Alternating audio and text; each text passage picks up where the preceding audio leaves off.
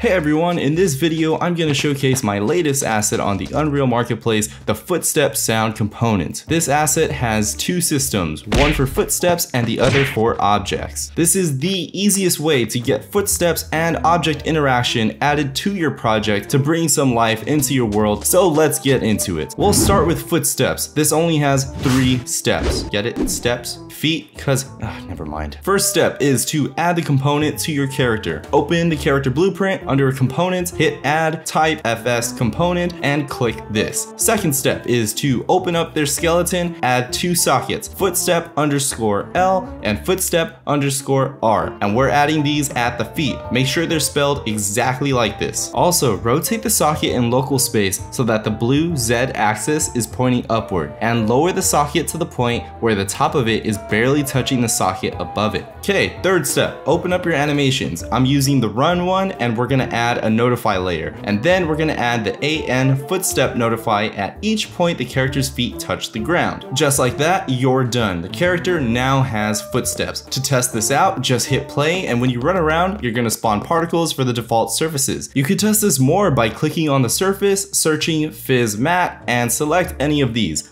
Let's do grass, hit play, boom! Now you can hear grass and see particles flying everywhere. Now you can use physical materials like this or throw on the actual materials which have the physical materials already added to them and you'll see the same changes. But yeah, that's it, now you have footsteps. Okay, now let's do objects. And guess what? It's even easier. You see this box right here? Click it, add component, FS component, boom! This object now makes sounds and stuff. I would play around with the object impact impact threshold to fine tune it to your liking. The higher this number, the harder it has to hit things to spawn sounds and particles, and the lower is the opposite. See, so setting this thing to zero, it's gonna go nuts making noise until it's 100% perfectly still. That's all I have for you ladies and gentlemen. I hope you found this video helpful. I'll put out more tutorials covering some of the other aspects touched on the documentation very soon.